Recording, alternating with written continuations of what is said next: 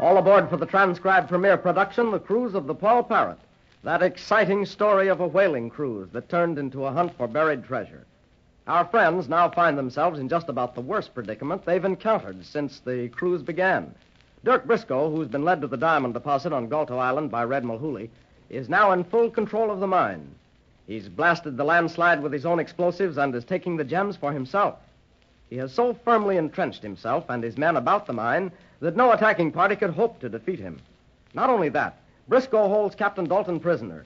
And though the crew of the Poll Parrot on the beach of Galto Island does not know this, he is preparing to exterminate all of them by hurling explosives in their midst with two big catapults he has constructed.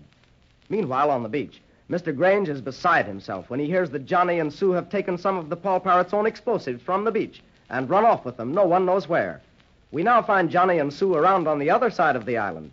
Johnny's arms filled with heavy, ominous looking canvas bags. Oh, Johnny, do be careful. If you stumble, you know what might happen. I'll watch my step, Sue. See, I always said you were the bravest boy I ever knew. I never would have thought of taking those explosives around on this side of the island. Well, gee, I bet you would have thought of it in just a minute. This way, we can sneak in the cave that leads from the back of the island to the mine and get right underneath that Briscoe. Then we can set off the powder right underneath them. Will they be surprised? But aren't you afraid Captain Dalton might get hurt if you blow them up from down in the cave? We've got to watch out for that, Sue. We just want to use enough explosive to frighten them. Yes. And then when they're caught off guard, we can free Captain Dalton and escape. Yeah. Gee, I hope it works. Oh, you'll make it work, Johnny. You've always been so brave. I know you couldn't fail. Gee, Sue, thanks. But there isn't anybody braver than you. Oh, you're just saying that. no, honest, Sue. You know how much I like you. Gee, maybe someday. Johnny, look out. You're going to drop the explosives. I almost did. Look, Johnny, right ahead there. The entrance to the cave. There's somebody on guard there. I should have thought of that. What are we going to do now? We'll have to think. Let's get as close as we can to the cave entrance without making any noise. I might have known this plan of mine was too good to work. Of course, Briscoe's men would know about that tunnel. They'd have to put a watch at this end to prevent a surprise attack. That's all right, Johnny. We'll think of something. I know we will. Shh. There's somebody else coming out of the tunnel. I've asked you. Briscoe wants you to go back through the cave to the mine. He wants some help with those bloomin' catapults of his. Aye, aye, Mr. Hollings. But why did he send you down here? He's on his beam ends at me again. I wouldn't help him aim explosives at the crew of the Poll Parrot, so he sent me down here as watch. Get along with you now. Don't you get in trouble with him, too, by being late. Aye, aye, sir, aye, aye. I wonder who he is. He doesn't look like most of those other men in Briscoe's crew. Oh, Johnny, I, I got to sneeze. Sue, you mustn't. What was that? Over in the bushes. Whoever's in those bushes, come out. All right, I'll get you myself. Ah, there you are. Don't come any closer or I'll throw this at you. I've asked. Two young'uns. What have you there? Blow me down explosives. Where'd you get 'em? Never mind. Let us alone or we'll blow you up. You'd blow yourselves up, too, if you tried. Oh, Avast, I know who you are now. You're the two young'uns with Captain Dalton's crew. And you're the lass who jumped in front of Briscoe on Ascension Island when he tried to pull a gun on Dalton. Yes, I am. What are you going to do about it? Not a thing. I think you're two of the bravest kids I ever laid my eyes on. Who are you? I'm Hollings, first mate to Dirk Briscoe. Though if I had my choice, I'd like to see him and his whole bloomin' crew 40 fathoms under. Is this a trick? I'm telling you straight, lad. You may lay to that. Briscoe tricked me into sailing with him, and I've hated him ever since I found out the kind of pirate he is. Why don't you jump ship and leave him? He's too clever. He'd do me in if he caught me trying. But I'm waiting for my chance to get even. Hold on a moment. I just sighted light. I know what you're aiming to do with them explosives. All right. What are you going to do about it? I'm with you. It's a great idea. I wish I'd thought of it myself. There'd been nothing like a little explosion right under Dirk Briscoe's feet to make him forget about blowing up the crew of the Poll Parrot. Blowing up the crew of the Poll Parrot? What do you mean? That's just what he's aiming to do, lass. Let me plant the explosives in the mine for you. Will you trust me and let me help you? You'd better hurry. Sue, we've got to decide quick. Do you think it's a trick? Should we trust this man? Johnny, I like his face. I think he's telling the truth. I think we ought to take the chance. Bless you, lass. You'll never regret that. All right, Mr. Hollings. We'll go with you. Avast then, mateys. full speed ahead. Briscoe's planning right now. Haven't you blasted swabs got those bloomin' catapults fixed yet? Mulhooley, shake a leg. Aye, aye, Mr. Briscoe. We'll be all set in a minute to drop them surprise packages right in the middle of the Poll Parrots' camp on the beach. Briscoe, you'll live to regret this day. Mulhooley, what I'm going to do to you when I get free will curdle your blood. What makes you think you're ever going to get free? Stow that chatter, you red-headed walrus, and get that engine loaded. You other men what ain't got nothing to do, keep digging for them diamonds. We ain't got too much time to spare. Aye, sir. First one's loaded, Mr. Briscoe. I'm warning you for the last time. Don't aim that catapult at my crew. A lot you've got to say about it, Dalton. If I had a mind to.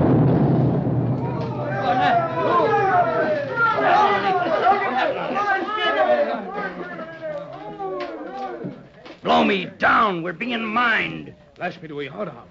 Where did that come from? It seemed to come from down in the cave. And there's somebody rushing through all that dust. It's Johnny and Sue. How did you get here? Hush, Captain. Pretend you don't see us. We haven't been sighted yet in all this confusion. Avast, I've got a knife. I'll loose the lines that lash you to this tree. Who are you? Never mind that now. You'll hear more from me later. Take these two young'uns and clear out of here while you're not noticed. There. You're free. I'll not forget this, mate, whoever you are.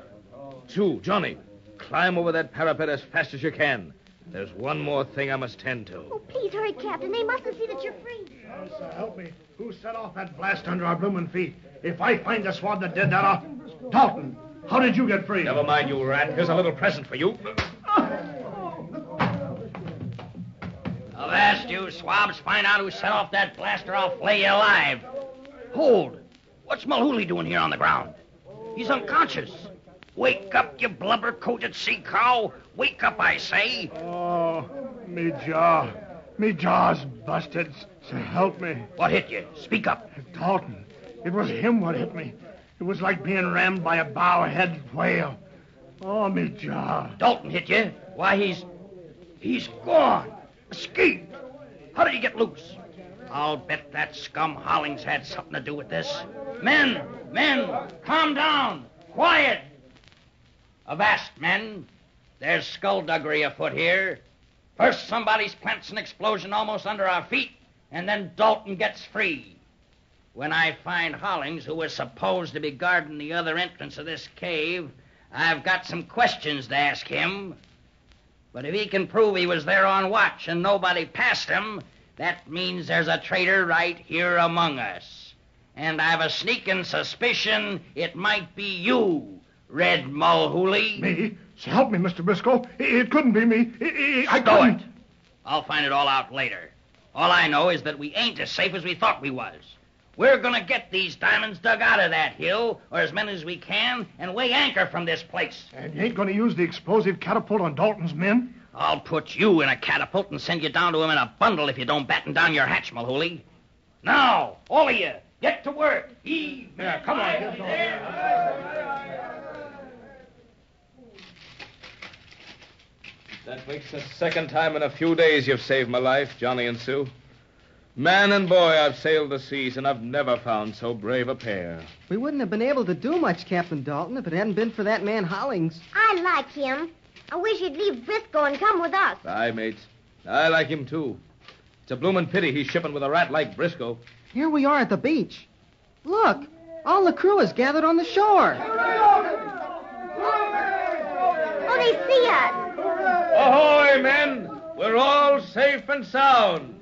Blow me down, Captain Dalton. It's good to see you again. We just about gave you up for a goner, we did. Ah, Three cheers for Captain Dalton. He's a good hand he can't keep down. Blimey, Polly, you never spoke a truer word, you didn't? Sue, you're safe. And Johnny, Captain Dalton, you're free. Why, what's happened? I don't understand all this. The best, Mr. Grange. There's no time for explanation now. That'll come later. Right now, we've got to clear off this beach and get aboard the Poll Parrot. And leave the diamonds behind, sir? Oh, diamonds and emeralds and rubies. Ah. We'll worry about the diamonds later. Right now, it's our lives we've got to think of. Just before I was freed, Briscoe was about to bombard the beach here with explosives thrown from a catapult. And he may start at any moment. And a catapult to hurl explosives? Why, I never heard of such a thing. Aye, neither did I before today. But there's no putting anything past that sea rat Briscoe. Step lively, men. We've got to clear off this beach and get aboard the Poll Parrot. Aye, aye, sir. Aye, aye. Step lively, step lively, step lively. Well, it looks as if we may fail in our mission after all. Oh, Mr. Grange, I wouldn't say that, sir. As long as we've Captain Dalton to lead us, he'll find a way through the stormiest seas to a clear passage, he will. And you may lay to that, sir. Well, Dickon, I can't say that I mind it as much as I thought I would. Even if we miss our goal and lose the diamonds. It's been a great lesson to sail with so fine a man as Dalton. I value the friendship of such men as Dalton and you, Dickon, far more than all the gems I could find. Why, why, blow me down, Mr. Grange. I, I'm all at sea, I am, sir. Them's kind words for an old salt like me, they be. Well, I mean every word of it. It's taken me a long time to see things that way, but I'm on the right course now. Ah, three blowing cheers for Mr. Grange. Ah! Oh, look! There's a man running out of the bushes. Somebody's firing at him from behind. Why, Captain Dalton, it's Mr. Hollings, the man who helped us save you. Blow me down, so it is. He's jumped that pack of sea wolves. Avast! Avast! He's hit! He's fallen! Huh?